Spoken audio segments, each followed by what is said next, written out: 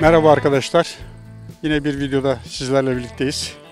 Şu anda e, biber sıralarımızdayız. E, biber çeşitlerimiz e, şöyle bir baktığımız zaman üç burun biber veya köylü biber dediğimiz, e, charleston biber dediğimiz, e, ince kıl biber, bu acı. Bunlar yeşil biberimiz. Şöyle. Diğer tarafta da dolmalık biberimiz var. Kapya türümüz de var. Onlar biraz daha ileride. Ayrıca şu aralarda tekrar e, kendi ek fide olarak yetiştirdiğim biberler var. Bunları pazardan fide olarak almıştım. Diktim. Dedim elimizde hazır bulunsun, hazır yetişsin. Ama şunların hepsi, şu biberler hepsi kendi tohumdan yetiştirdiğim fideler. Tabi bu sene biraz geç başladık bu işe. Geç başlayınca anca e, dikebildik. Bunların ilk önce dediğimiz gibi aldık diktim. İlk önce yaptığım iş alttan belirli bir e, büyüklüğe geldiği zaman yani şu çatallara gelene kadar çatalları gördükten sonra alttaki bütün yaprakları ve sürgünlerin hepsini yoldum. Yani kuvvet direkt olarak şeye geldi. E, ana gövdeye geldi. Ha, e, tam çatalın ortasından ilk biber çıkıyordu. Daha çiçek halindeydi. Onların da hepsini yoldum. Bak bu yolmadığım bir biber. Bu da e, kuvvet buna gideceği için ana gövdeyi zayıflatıyor. Şundaki bakın, şundaki e, görünüşle aynı biber bunlar aynı zamanda ekildi. Şundaki şeyi farkı görebiliyorsunuz. Şundaki kuvvete gösterişe bakın. Bir de şunda. Bu biber bütün kuvvetini almış bunun. Bunu zamanında koparmış olsaydım hatta şu anda bırakacağım. E, çünkü az çok e, şeye geldi artık. Toplamaya hasata başlayabiliriz, yapabiliriz. Bunlar aynı şekilde şöyle görüyorsunuz. Şunu tohumluk olarak bırakayım diyorum yine. Elimde bulunsun. Gelecek senenin şeyi. Çünkü şey güzel, tohumlar güzel. Ama dediğim gibi ilk biberlerin hepsini aldık. Bakın şeylerde görülebiliyor zaten. Bu ince kıl biber bunlar. Bunları da görebiliyorsunuz şurada. Şeylerin hepsini yapraklarını aldık. Şöyle şeye kadar, çatala kadar. Bunlar normal şeylik biberlerim. Şöyle unutulanlar oluyor bakın. Şeyli bile olsa çiçekli dahi olsa bunları yoluyorum. Çünkü kuvvet o zaman ana gövdeye gidiyor. Buradaki gelişim çok daha güzel oluyor. Bakın bu unutulmuş bir şey. İlk biber. Bunun normal şartlarda alınması lazım. Daha kuvvet e, ana gövdeye gelsin diye. Daha kuvvetli gelişiyor o zaman. Şu yaprakları yolmamız lazım. Ha gerçi bunu asat yapacağım. Yani şöyle artık ürünümüzü aldık diyelim. Şöyle kopardık. Gördüğünüz gibi. Allah yeme nasip etsin. Şöyle aynı şekilde ilk ürünleri şöyle alabiliyoruz. Bakın görüyorsunuz. Maşallah ne güzel gelişmiş. Aynı pazar ürünü gibi. Aynı şekilde şöyle bir baktığımız zaman bakın şeyler güzel. Maşallahı var.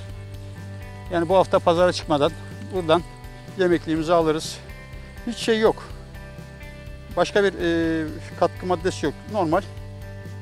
Bunların hepsini e, kendimiz çapaladık, kendimiz yetiştirdik.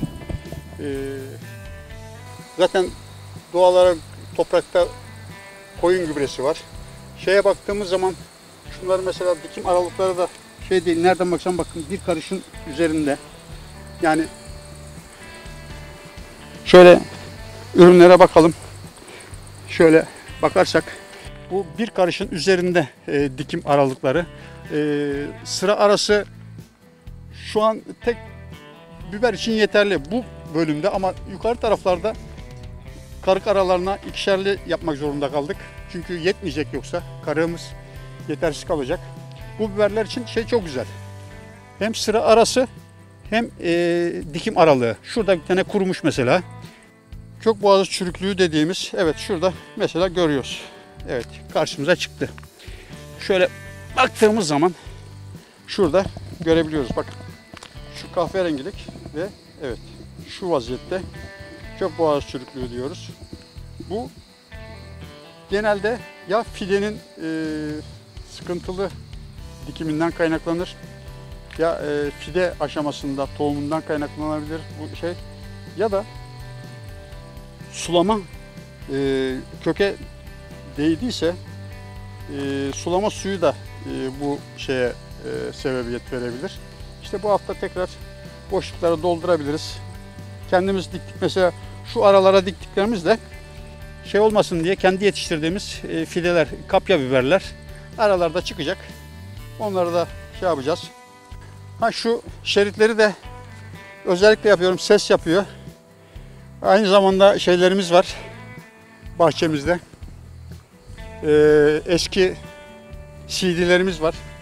Bunları özellikle e, şeylere astım ki çünkü çevremiz bahçe burası. Dağın ortasında bir bölge. Ee, domuzumuz, tilkimiz, çakalımız, e, tavşanımız e, eksik olmuyor. Telle çevirdik her tarafını. Onları da yaparak bunlar bu ses çıkarıyor. En azından e, rüzgarın çıkardığı sesten dolayı hayvanlar bir ürküyor, zorlamıyor bu bölgeleri. Onları yaptık. Şöyle baktığımız zaman evet dolmalık biberlerimiz de üzerinde şöyle bir haftaya kalmadan maşallah şurada mesela görebiliyoruz şeylerini. Yeterince var. Dediğim gibi bunların e, bakımları da aslında dediğim gibi çok e, ticari düşünmediğimiz için normal şartlarda e, şu alttan çatala kadar olan bütün yaprakları ve sürgünleri aldıktan sonra yapılabilir. E, nasıl yapılabilir? Şu içe doğru olan sürgünler de koparılabilir. Niye koparıyoruz? Şey yapmasın diye. İçerisi bu şekilde hava alıyor. Yani iç budamayı yapıyoruz. Şu içini açtığımız zaman e, hem daha güzel gelişecek çünkü yana yayılacak o zaman e, şeyler, sürgünler. İçerisi de hava almış olacak. Amaç zaten hastalıkların önlemek amacıyla bitkinin mutlaka e, bol havadar yerde olması lazım ki bu e, şeyleri önleyelim, hastalıkları. Bilhassa mantari hastalıklar e, bu tür e, sık birbirine geçmiş yapraklı şeylerde olur. Hava almadığı zaman olur.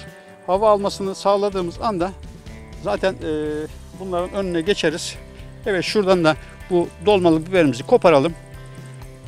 Bugünkü videomuzu da sonlandıralım. Allah yemeği nasip etsin. Bir sonraki videomuzda görüşmek üzere.